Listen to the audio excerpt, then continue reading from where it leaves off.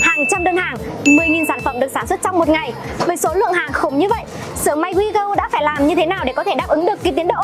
Hãy theo chân chúng tôi để tìm hiểu ngay một ngày làm việc bận rộn của nhân công cũng như là dàn máy móc hiện đại hoạt động hết công suất như thế nào nhé.